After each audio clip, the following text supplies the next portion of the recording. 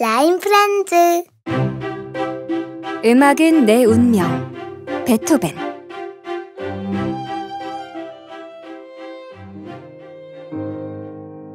(1827년) 오스트리아 빈 한 음악가의 장례식장에 아름다운 피아노 소리가 울려 퍼졌어요. 2만 명이 넘는 사람들이 모여들어 그의 죽음을 슬퍼했죠. 바로 위대한 음악가 루트비히 반 베토벤의 장례식이었어요. 한편의 드라마 같은 삶을 살았던 베토벤. 그의 이야기를 들어볼까요?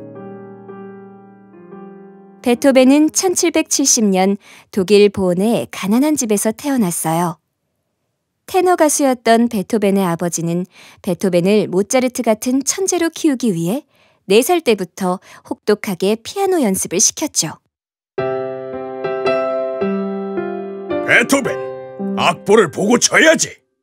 아빠 팔이 너무 아파요. 이렇게 나약해서 모차르트처럼 성공하겠어? 연습을 많이 해야 실력이 느는 거야. 네, 아빠. 아버지의 교육은 혹독했지만 그래도 다행히 베토벤은 진심으로 음악을 사랑했어요. 베토벤은 7살 때 연주회를 할 정도로 뛰어난 실력을 갖게 되었고 13살 때는 피아노 협주곡을 작곡하기도 하고 어른도 되기 힘들다는 궁정음악원의 정식 회원이 되었어요.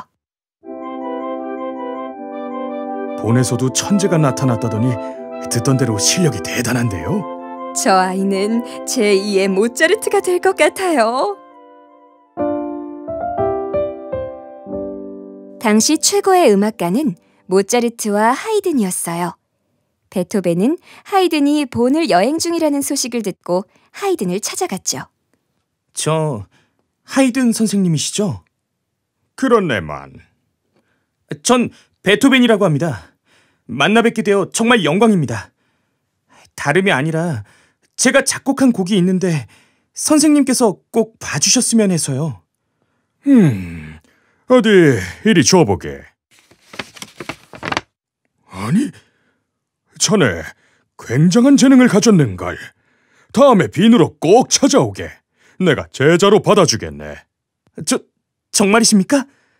감사합니다. 정말 감사합니다, 선생님.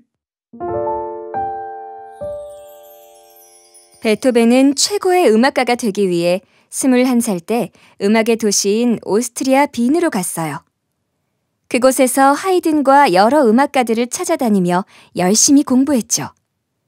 그의 재능을 알아보는 사람들이 점점 늘어났고 베토벤은 피아니스트로 큰 성공을 거두었어요.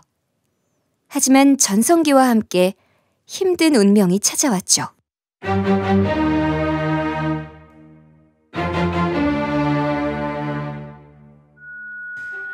귀가 왜 이러지? 밤낮으로 윙윙거려서 도무지 집중을 할 수가 없어. 설마 내 귀가 잘못된 건 아니겠지?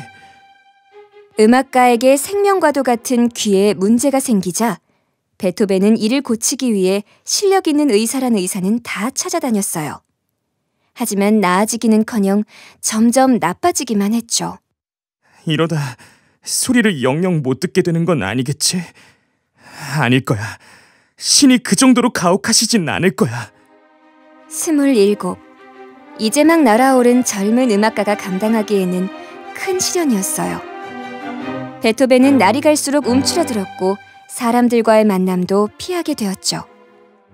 내가 못 듣는다는 사실이 알려지면 연주에도 작곡을 해달라는 부탁도 모두 끊길 거야. 완전히 귀가 안 들리면 어떻게 될까? 음악을 못하게 되면 지옥이나 마찬가지겠지?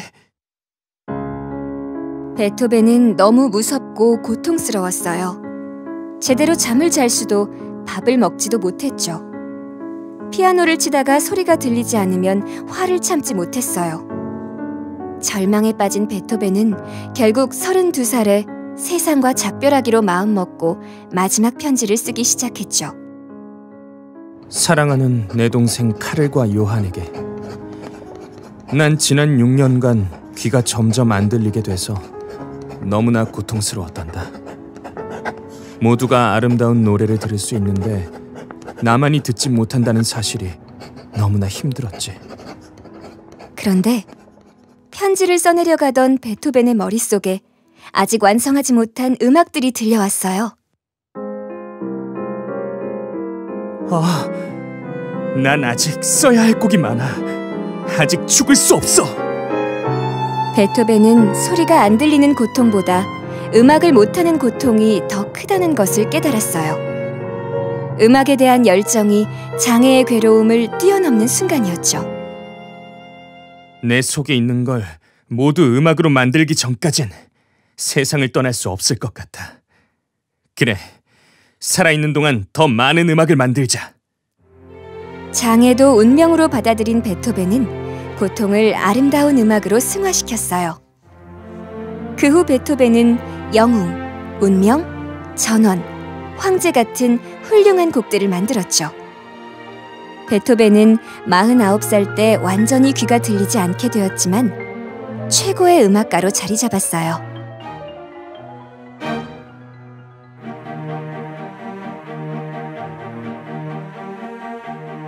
베토벤 최고의 걸작으로 뽑히는 합창 교향곡을 발표하던 날의 일이었어요. 오늘 베토벤 선생님께서 직접 지휘하신다는데? 뭐?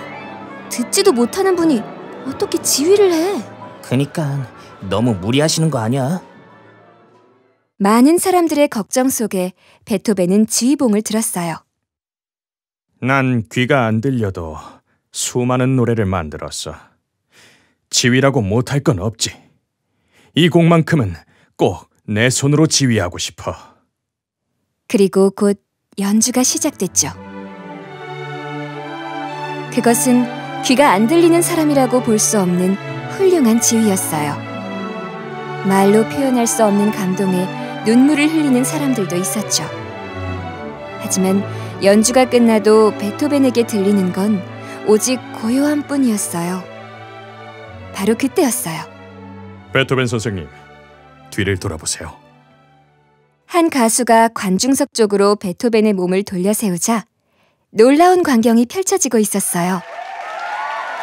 청중들이 모두 일어나 박수를 치며 엄청난 환호를 보내고 있었죠. 경찰이 나서서 조용히 시켜야 할 정도였어요. 감사합니다. 정말 감사합니다.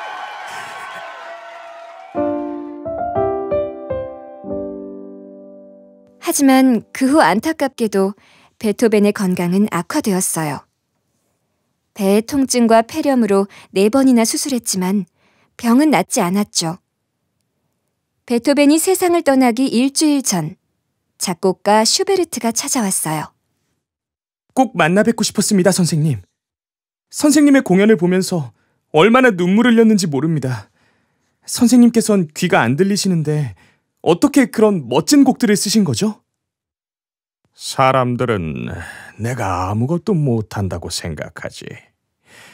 하지만 내 머릿속은 항상 아름다운 소리로 가득 차 있었고, 난 그것을 표현하지 않고는 견딜 수가 없었지.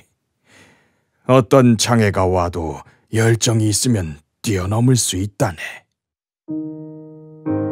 베토벤은 57세의 나이로 세상을 떠났어요. 그가 남긴 수많은 음악 중 최고로 꼽히는 곡들은 오히려 귀가 들리지 않던 때에 만들어진 것이었죠. 불굴의 의지로 장애를 이기고 세계 음악사에 길이 남을 걸작을 남긴 루트비히 반 베토벤. 그의 위대한 음악과 인생은 지금도 많은 사람들에게 희망과 감동을 주고 있답니다.